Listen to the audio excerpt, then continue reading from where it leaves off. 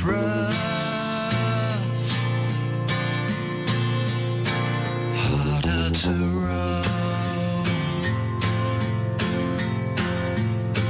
tougher to shake harder to control.